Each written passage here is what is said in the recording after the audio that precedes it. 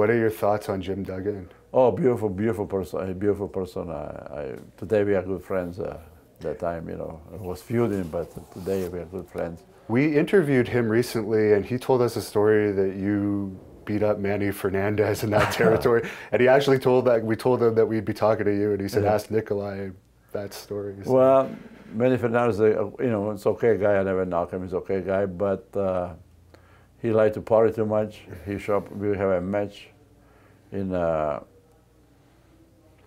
Orlando, Florida, for for the time promoter was uh, Graham. Okay, Mike, uh, Mike Graham. Eddie Graham. Yeah, Mike Graham. What's Graham? Yeah.